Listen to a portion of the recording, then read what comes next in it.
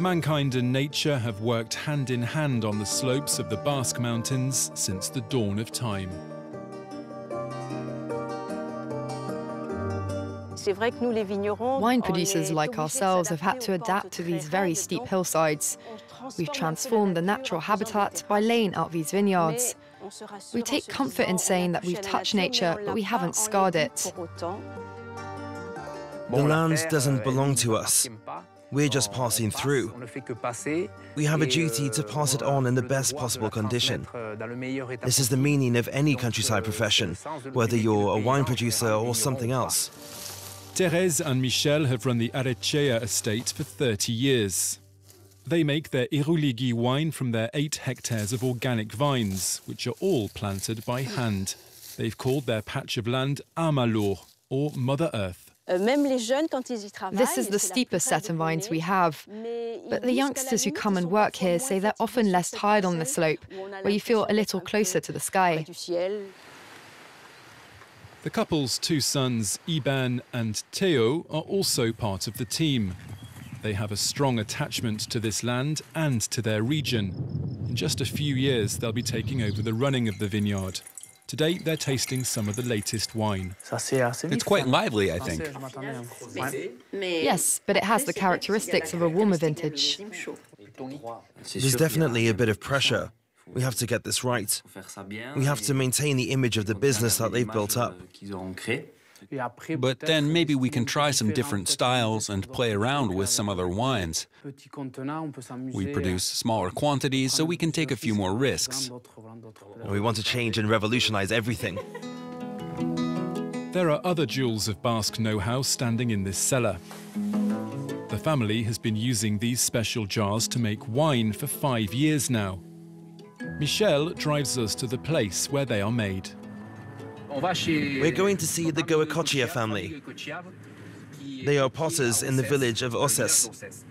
They have this family-run artisanal pottery and some really exceptional skills. The Goicoechea factory was first set up in 1960. It's now run by Michel Goicoechea and his son. Here's the next generation, an artist as well. Here are the doliums. This is the baby that we designed and produced together. We introduced them to the world of wine and we helped them take that step. And the adventure continues. It's a dolium that was created five years ago. It was a big technical venture with lots of passion. We must have about 30 winemakers who use them today. Ah, this one's for me. This family business sells its pottery right around the world. Some of its high-end works cost several thousand euros. They're made using an old technique and a length of rope. It's a really ingenious process which allows us to make large-scale pots. It's the rope that keeps the very soft clay upright.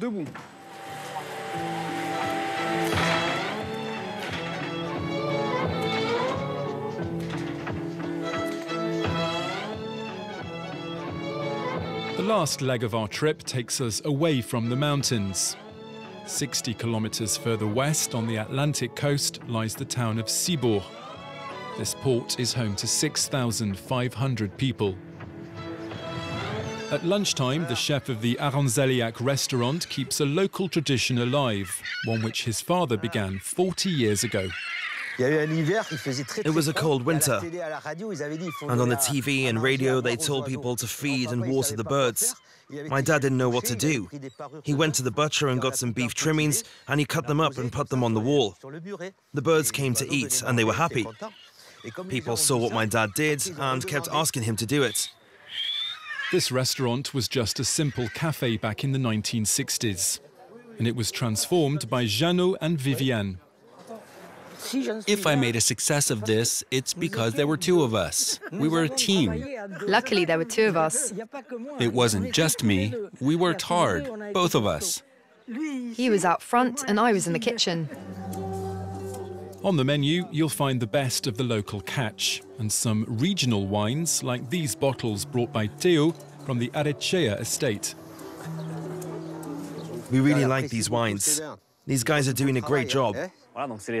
Local links also play a role. These are wines that go well with fish and the regional cuisine. Well, well done and congratulations.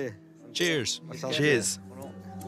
In a few years' time, Teo and his brother will take over from their parents at the vineyard, just like Ramuncho did 20 years ago at this restaurant.